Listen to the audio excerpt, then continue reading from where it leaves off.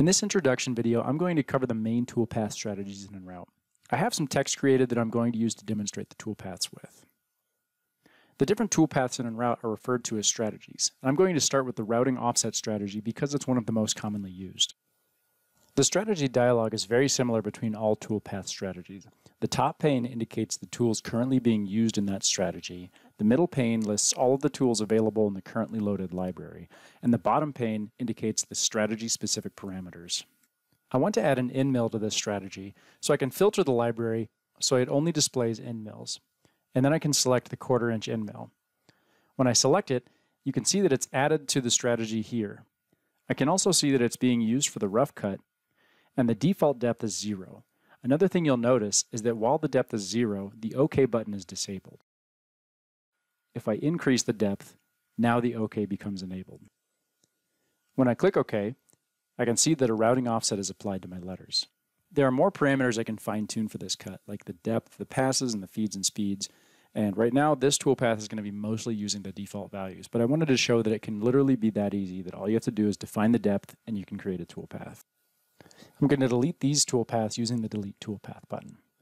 Another type of toolpath is the hatch fill. So I'm going to select the first letter to apply a hatch fill to, and then activate it from the menu. I want to use an end mill for this cut, which I already have loaded. I have my eighth inch end mill, which I'm using to do a fill cut at a depth of 0.2 inches. click OK. You can see that a fill is applied to the W. You can see that the hatch fill toolpath is going to move the tool back and forth across the surface of the contour to mill it down. Another common use of the hatch fill is if I have a contour around my letters and I want to mill out the area in between the contour and the letters, I can select them all and apply the same hatch fill. And you can now see that the area between the letters and the bounding contour is milled out by the hatch fill. Another type of fill is the island fill. It achieves the same result as the hatch fill, but it uses a different pattern to create the fill. You can see that the toolpaths move outwards from the internal contours rather than moving side to side across the entire piece. The different fill pattern might be a better choice for different material types, or it can be used to create a desirable surface finish. A drill is another type of toolpath. In its simplest form, a drill point is a single point that can be placed anywhere in the workspace, but there are other tools that can also create drill points in circles, arrays. You can drill at the center of contours, drill along contours, or drill at the corners of the defined plate. Most often, you'll likely place drill points individually or in arrays. I'm going to create a single drill point. I'm going to use a drill tool for this, but any tool is capable of creating drill points. I can specify the coordinates of the drill point down here, or I can specify them graphically. And when I click OK, I can see that my cursor now indicates that I'm ready to create drill points. Whenever I left click, I now create a drill point using the parameters I specified, and then I can right click to exit the tool. The slot tool is a way to create straight cut toolpaths. I need to pick a tool capable of creating a slot toolpath, so I'm going to choose an end mill. Similar to the other drill tools, I need to specify a depth, and I can either specify the starting and end coordinates here, or I can choose to place them graphically.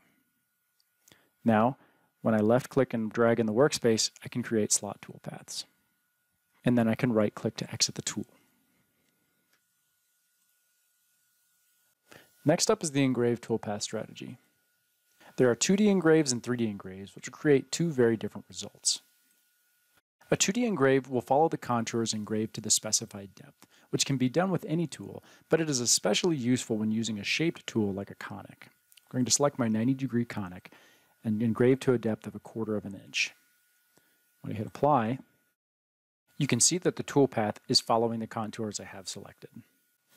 If I simulate the output in 3D,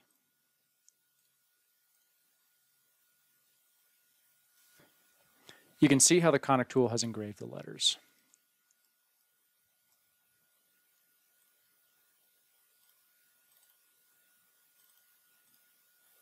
I'm going to remove these toolpaths. Let's look at a 3D engrave. For this option, I'm only going to select the letters. A 3D toolpath requires a tool that is capable of engraving, which would be a conic, an engrave, or a tapered tool. For special cases, a ball-end tool can also be used. When I enable the 3D engrave option, the external and internal options also become available. I'm going to check the internal option for this and apply these parameters. The main thing to notice here is that the toolpath is moving up into the corners within the contours. This allows the tool to follow the contour much more closely than the 2D engrave. If I simulate this again in 3D, you can see the difference it makes in the corners.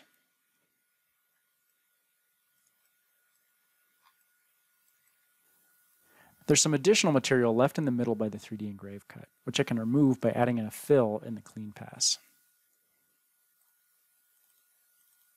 I can remove these toolpaths and apply the same settings except externally. And you can see the result is about what you would expect, with the tool moving up into the internal corners. The Pyramid tool is a specialty tool that creates beveled letters using a conic tool.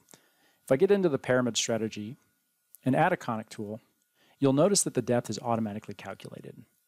I can then specify the return height down here to set the position of the letters from the bottom of the plate. And when I hit apply, you'll notice that the tool paths are applied into the plate depending on the return height I specified. Those are the primary tool paths within EnRoute. There are a few that I didn't cover that function similarly to the main strategies, like the open contour routing offset, which creates routing offsets for open contours. There's also the curve compensation tool, which is primarily used to generate toolpaths for waterjet and plasma machines, with a few specific features to those machines.